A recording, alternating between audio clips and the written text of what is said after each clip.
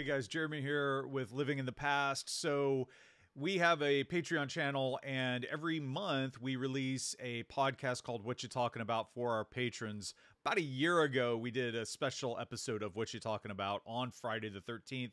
Uh, the movies, uh, the the content we were doing specifically part four for our main show, uh, the, and you can find it uh, on this channel. But this was an additional conversation that we released for our patrons.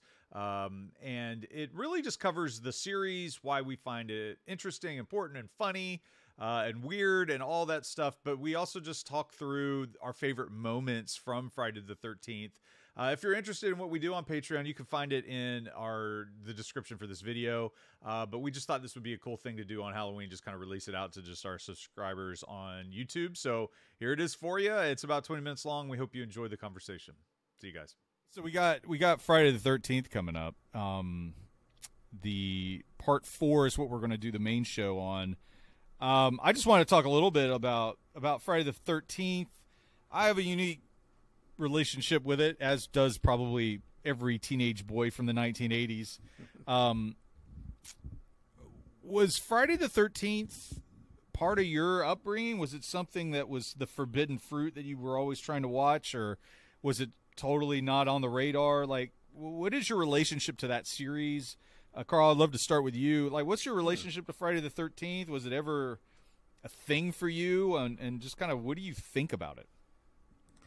Well, um, another you know another surprising, shocking fact about me is I was I'm kind of a coward. So you know I know looking at me you think no way, but um, you know I was not a fan of horror. You know yeah. I remember okay just to, this is just confession time. I think I there was an episode of Fantasy Island when I was like a young oh elementary. Oh my gosh junior high. I don't know how old I was. Yeah. And some woman on the show, you know, that show is it's nothing. It's it's nothing, Jeremy. Yeah. Devin, it's not scary at all. Um, some woman looks in the mirror and she's just she's like horribly, you know, the mirror reflection is some horrible, monstrous looking. It's not her, not her real looking. Yeah. She's shocked by it. I like ran out of the living room crying to my bedroom. You know, I'm not wow. coming out of my bedroom. You know, wow. that's how freaked out I got about stuff. Yeah. So as I got into teenage years, my friends were into. I had plenty of friends into horror movies and Friday the Thirteenth, and it's the kind of stuff you talked about.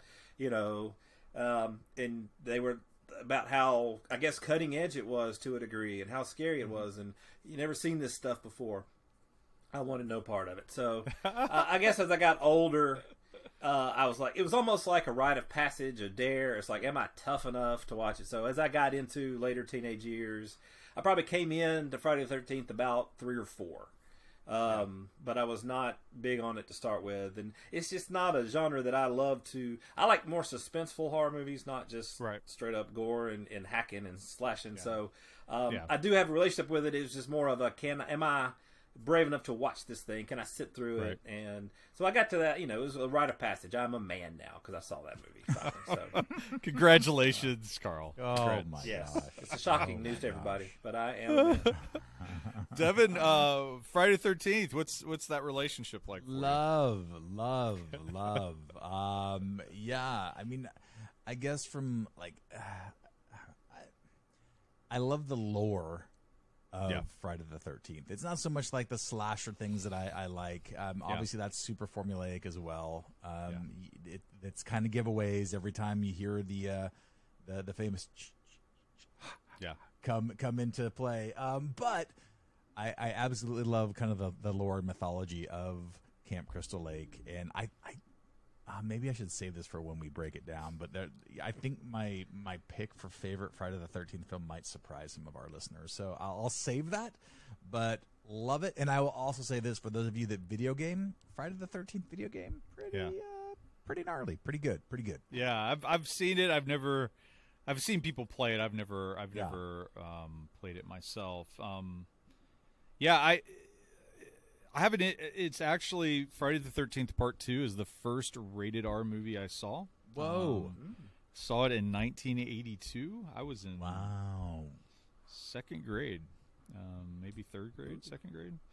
So um, yeah, I, I, saw it. I, I, saw it like half with my face covered, you know, and and uh, um, it was one of those. uh, Carl, in some ways, I have there's similarities. Like sometimes I would just I couldn't watch it. I I, I just like I can't. It bothers me, you know. And other times I, I totally could. Um, I think we're doing part four. That's my personal favorite. I'll go ahead and throw that out there. But um, part four is also really funny, and, and it just has some like hysterical moments. I think the original does too. The original Friday the 13th has some pretty funny moments in it. Um, and, and so I, it was always this weird thing. I would go through phases with it, where I would watch them and be okay with it, and other times I'd be like, "No, I, I don't really want to do this," you know. Yeah. Um, I do, Devin. I do understand that feeling, though, the lore of it, and Mhm, um, mhm. some of the connective tissue through it, and some of the reoccurring characters, and uh, I kind of like that stuff too. I, I do Yeah. like the. I, I've always wrestled with, and I've kind of flip flopped throughout my life on: is this good for me to watch? Is this not good for me to watch? What is a mm. movie like this saying? Is it saying anything at all? Like, w- is there Yeah. anything of value? And you know, I've I've really kind of been on that roller coaster or that that pendulum where I've swung back and forth, just like in how I've watched it, and I I do feel like it is saying something about women and women's roles in society. I know that sounds crazy, but but I do think, um, you know, the final girl concept that we mm-hmm. see in that that horror. It, it might be saying something about women's capabilities in a world mm. that mm. has evil in it. Mm. And I know I was watching the documentary on it, and that was brought up a few times, and I found that very fascinating because the critique is it's abhorrent and just terrible, and it is at times.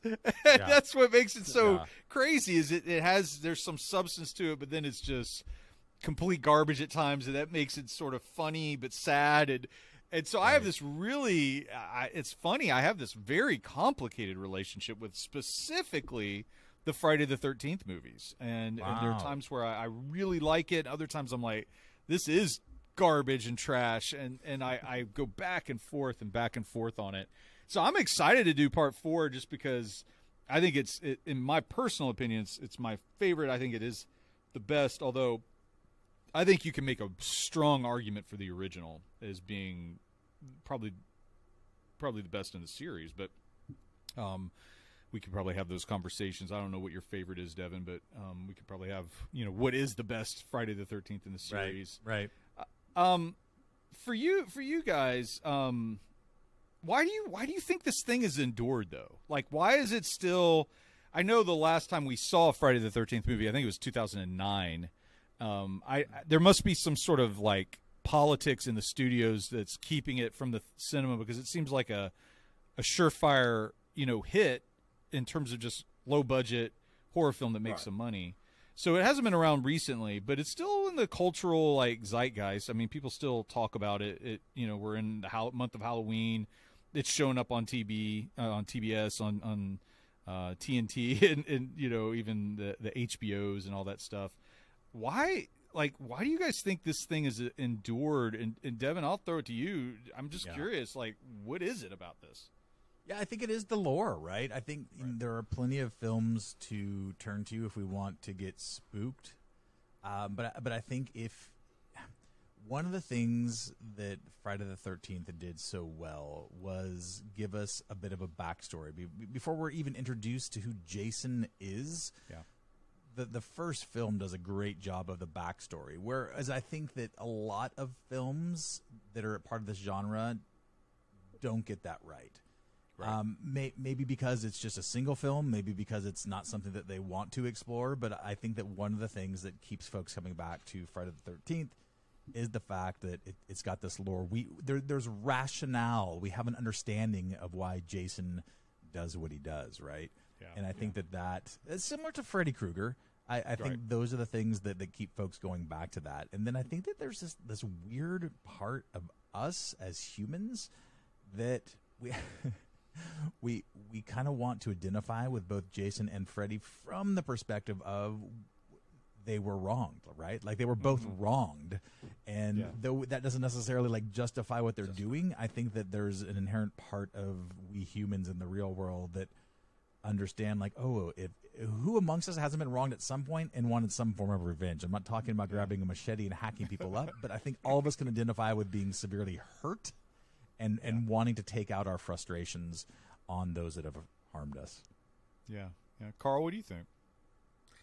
I agree with everything Devin said with that. Um, I guess I'll y'all can maybe swing back to a question I have about the lore too. Is y'all I do like the lore. I think my frustration, and maybe y'all like it, is the open endedness of like, okay, exactly what is it about Jason that he can keep being resurrected? I mean, what is the mechanics of that? So, and I think Yeah.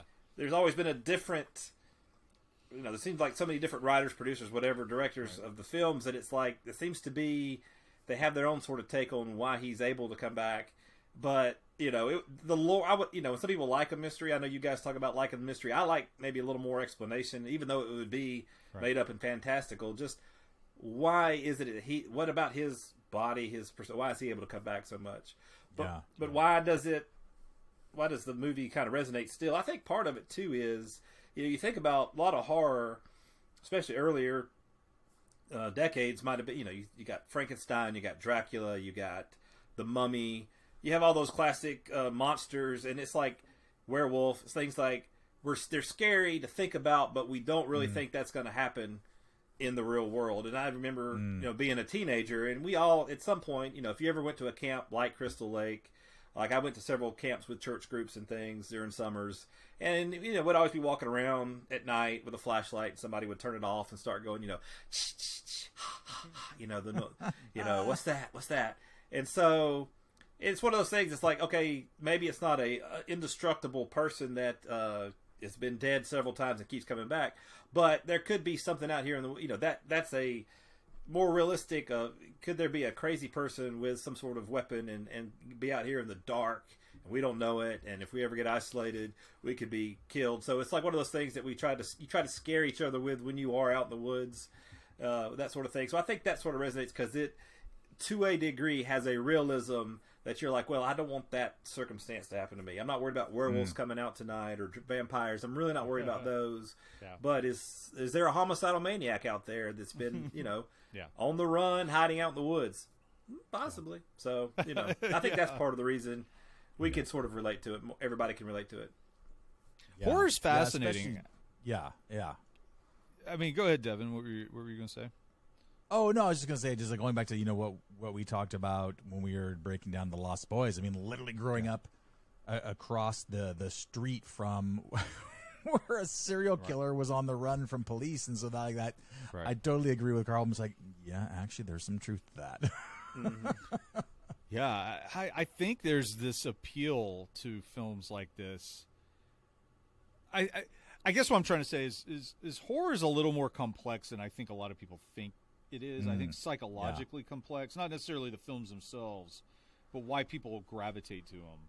Um, Just on Twitter alone, just with our living in the past account, we interact with so many horror specific um, Twitter accounts that just love horror. And one of the like strains I've noticed just in the, the conversations is like the world is evil, but and it's hor- horrific at times.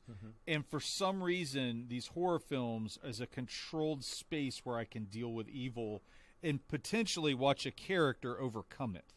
And there's some sort of odd psychological attraction to that, like um, dealing with the evil, seeing like the final girl overcome the evil, Yeah. um, and, and feeling some sort of empowerment by that, and feeling scared, uh, but it's in a controlled space. Uh, I find that stuff endlessly fascinating. I'm sure we'll talk about it more on the Friday the Thirteenth Part Four episode coming up uh, in about a week.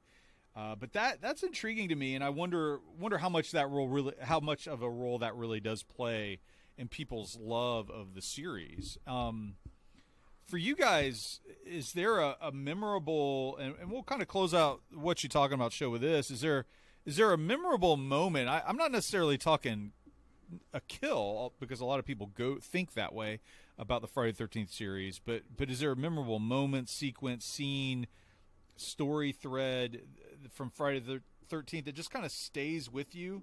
Um, it could be ridiculous and stupid, or like, is there something from it that uh, kind of remains with you. And, and Devin, I'll, I'll start with you. Is there anything Yeah. from the series? Yeah, I mean, there's several things. I, I think that you know, and, and this is kind of springboarding from what what Carl brought up. I think that most of us have some type of summer camp experience. Yeah. All of us were horny teenagers. Yeah. Um, and and I thank you for affirming that, Jeremy. Yeah, that's what I'm here for. Um, and, and so yes, I mean there, there's definitely part of that that kind of like plays on on the psyche of the viewers. But for me, yeah, for in with regards to the, the Friday the Thirteenth, I think there are two things that stick out. That one, um, the the I, I forget which one it is. Um, I, I need to go back and rewatch them. But there's there's one I want to say it was maybe it was number four. I don't know. Maybe it was number two. Anyway, um, th- th- there's there's a a young man and young woman walking through a house that's dark, and she says, "I think there's someone else in here." And like to this day, that still gets me. It's hard to walk through a dark uh, house without thinking of that. And like, Yeah. Yeah. um, but far and away for me is is the the ending of the original. And if you haven't seen that, I'm not going to make that into a spoiler right now. But the the ending of the original, I think it's that linchpin that brings the entire series together. yeah, I would agree. Carl, any anything for you? Any memorable moments? Yeah, I mean, you know, I don't exactly know why. Maybe what you were talking about earlier, Jeremy. But it's just like I remember the first one I did watch. And I think I was like somebody had rented it. and We were at somebody's house watching Yeah. it, so Yeah. it's one of those things. Again, I had to. I couldn't back down. Like I'm going to watch it. So it was more of sort of forced into it. Like, you're a chicken, but um, you know, there was one scene. I think it was around. I think it was number four. I mean, or three. I'm not sure. Somebody's you know, there's a guy and a girl, and they're fighting Jason in a barn. Like they get kind of cornered in a barn, and the guy ends up uh, trying to, you know, I guess maybe I mean he's trying to f- kill Jason, but for the most part he's just buying time for the girl to get away, and so most of the kills seem to be like it's instantaneous. You know, he just Right, comes in, right. whack, you're dead. People, and this one guy was putting up a fight, he was getting stabbed, he was getting hacked with a machete, I think, and he just kept fighting though. You know, it was Yeah. like you know you'd feel you'd hear the squishy noises, the the Yeah. noise of you know metal hitting bone. You'd hear him Yeah. grunting and stuff, and it's like that's horrible. But it's like, Yeah. oh, he's putting up a fight though. At least he's not just you know just taking it. It's like I, he'd given up. So I don't know. That one just kind of stuck with me as far as like you know you know sometimes things may be overwhelming, but you just sort of you just fight. You know, you don't just give up. And maybe it's Right. not going to save you, but it it'll help somebody else. Maybe so. Yeah, I think that's what's appealing sometimes. I think I Mm-hmm. think that's I think my favorite moments through all the series is when the character or characters kind of come to a full realization of what's happening. Their Mm-hmm. circumstances are dire, and then there is a kind of a courageous stand made. And, and normally it's the Mm. final girl that does it, but sometimes it's Mm-hmm. her love interest that will also step into that that, that kind of like that breach and like you know I'm going to fight too and and I've always liked that stuff. I, I think I had a friend that really loved part six. I think it's six. It might be seven. It's the one where the girl can like you she has powers like like she telekinesis and stuff like she can move things. And uh, when she starts fighting Jason, I, I always was uh, I laughed at that, but I had a buddy that loved it and thought that was the best, the best Friday the Thirteenth. And I was like, I don't know about that, but but it was that idea of fighting back, and and I think that always resonates um, in the face of evil. I think that that's something that that's weird about the series because it's so silly and dumb and just like these moronic. Like the, I was watching the documentary about it and uh, one of the filmmakers was like, "You want the teenagers to be stupid, but there's this odd line you're always writing where it's not complete, total." moronic like this it's it's completely unrealistic there's this edge you get up to where it's writing that line of just like this person's an idiot but then um but th- but it's not it doesn't completely take you out of the film and and I know Yeah. that that's what Friday 13th does so well in almost all the movies is just ride that line and it, it kind of makes me laugh and and sometimes for me that's that's the appeal is just the just the stupidity of it all um but I think there's more going on to it than than um I think a first glance at that series, I think there's we're there's some things meta. worth talking about. Yeah, why not? Whoa. Why not? Whoa. We're living Raising in the, the, bar, Jeremy. I'm not sure how comfortable I am with that. Well, let's wrap it up. Our next episode is Friday the 13th, uh, part four. Uh, we'll be covering that as we march into the month of October a little bit further. Um, patrons, thank you so much for, for your support and just uh, just uh, being along for the ride. Uh, yeah, let us know what you think about the Van Damme moments. Uh, what's the what what did we miss, or, or what did you agree with?